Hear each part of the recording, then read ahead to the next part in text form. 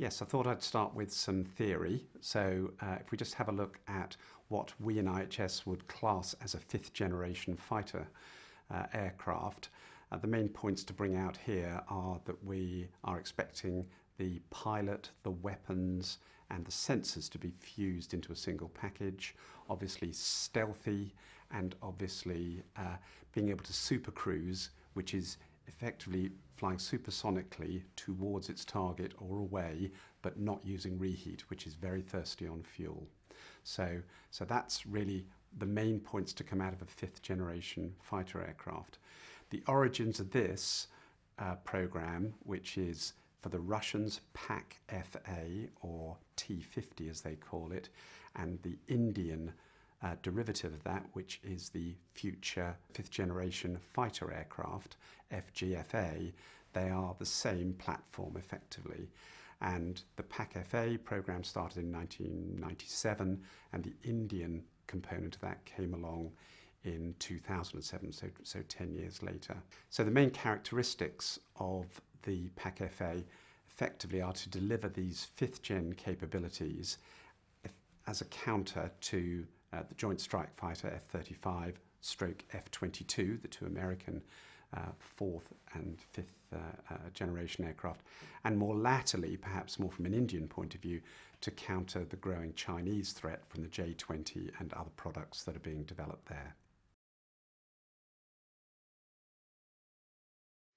So in terms of the development of the program, uh, if we're looking at a 1997 start date, the program uh, with its development and a number of issues which I'll come to, uh, has, is about six years behind where it needs to be.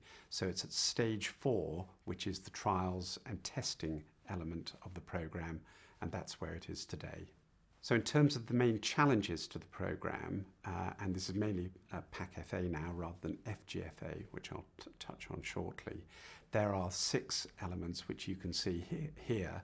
Uh, the key ones being a, an active uh, radar, uh, uh, synthetic radar, and engine technology. These are the two areas that really are not at the level of technical maturity that they need to be to deliver the aircraft in the timescale that both Russia and India are looking to achieve.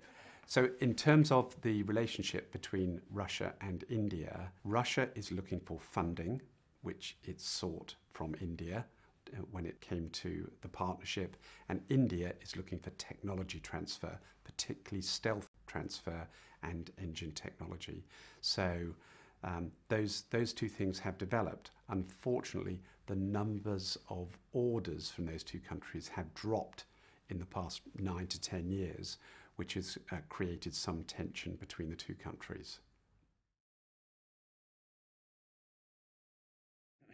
So in terms of the production forecast, uh, looking forward, you can see that there is a large gap where the Block 1 standard of aircraft is completing delivery in a couple of years' time. There is then a gap of some five to six years until Block 2, which is really the operational standard, starts to come into, into, into operation and, and starts deliveries. Now that is a major risk to the program. Any, anything, any major program that has to stop for a period of six years does introduce a lot of risk. But these technologies are still at fourth gen standard. And to bring them up to fifth gen standard, they need to be developed further.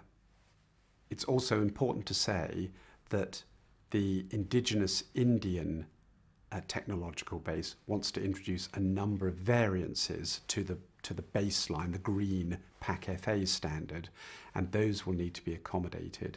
So the Indians will be taking a, three prototype aircraft uh, standard in 2019 and start to integrate their own uh, uh, technologies into the aircraft. So that's a, another dimension and another risk in the relationship and in the, the integration of, uh, of the aircraft and its delivery. So to conclude, uh, there's no doubt that there is at governmental level a real will to make PAK-FA stroke FGFA happen as a fifth generation product between the two governments. So there's, there's no doubt about that. And there have been another num number of summit meetings over this.